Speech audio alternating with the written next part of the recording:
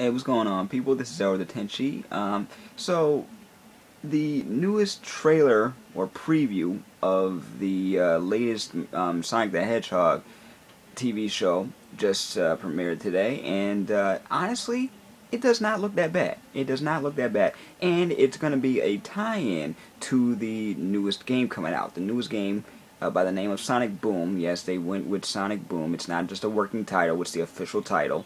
The video game will be a prequel to the show, which is already slated for fall of 2014. They've already ordered about 50 something episodes. It's going to be premiering on Cartoon Network.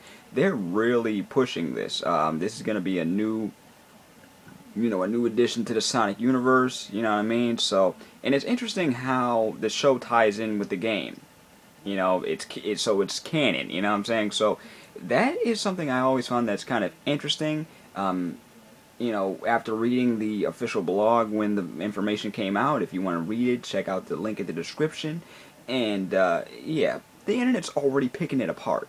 After watching the preview, I saw the comments. People are already picking this apart. Like I knew they, you know, like I knew they would. This is the internet, so of course people are gonna have their preconceived notions. They're gonna say, "Oh my God, this is so bad. Oh my God, what the heck? And why, why is Sonic's voice so high pitched? All that bull crap before our first episode even comes out. All we got is a, all we got is a two minute preview." Which is not that bad, but I know I'm just one person. I'm just one fan. So you know, take my opinion with a grain of salt if you want to. But uh, but honestly, I really the only real real uh, question I have to ask about this is why is Dr. Eggman's mustache so short?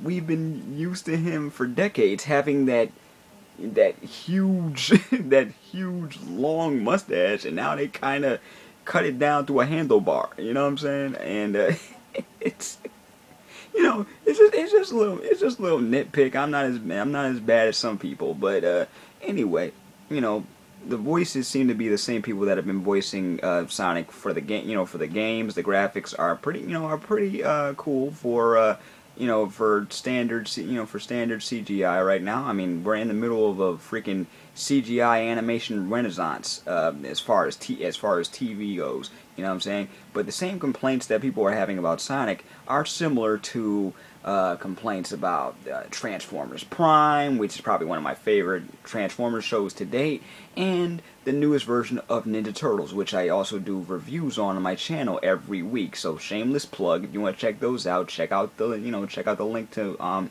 my playlist. Subscribe to my channel and and and uh, see when they come out. But as far as as far as Sonic Boom goes, you know, but let's just see what happens before we start making our our judgments. This is gonna be like a new, you know, like a new experiment. Sega of America is involved.